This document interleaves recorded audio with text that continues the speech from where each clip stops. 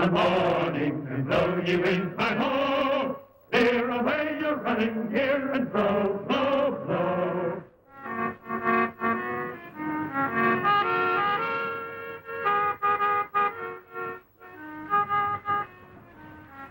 To His Majesty King George I, from Captain Woodes Rogers, July the 2nd, 1718.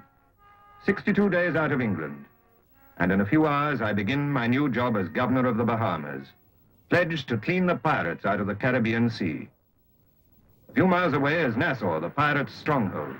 Hello there! I have only a single ship, the Delicia.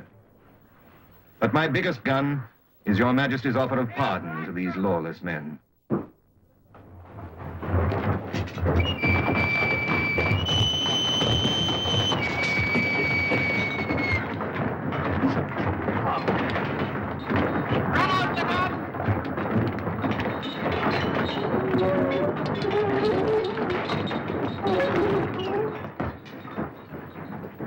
Lieutenant Beamish, you seem to be preparing for battle.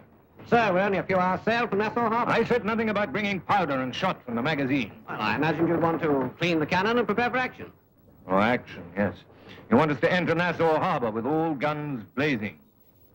I see, sir. It's the only language pirates understand. Mm-hmm. Is that what they taught you at midshipman school? Why, uh... Oh, yes, sir, it is. Christopher, you ever stop to think that many of these pirates used to be honest English seamen, and many of them were hailed as heroes during the war with Spain? A great mistake it was, too, sir. Why, most of them were nothing better than privateers. Seems time to remind you, Lieutenant Beamish, that I was nothing better than a privateer. But I don't recollect that the Admiralty let that fact bother them when I brought in enemy ships as prizes. I, uh, beg your pardon, sir. When the war was over, you didn't turn to piracy. No, I could make my way with that. But those poor devils over there.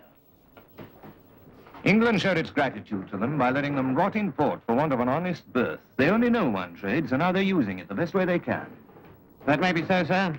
But we're still charged with cleaning them out. Lieutenant, according to my latest information, there are seldom less than a dozen pirate vessels in Nassau Harbor, five times our number of able-bodied men, also a fort with half a dozen cannons. You think to frighten me, sir? Oh. Sometimes I wish I could, you know. Now, the southern coast's deserted. I'm going to land there tonight. Make your course south by southwest. Aye, aye, sir. You're to remain aboard, in charge of the ship. I'm going across the island on foot with Benji. To Nassau? Mm-hmm.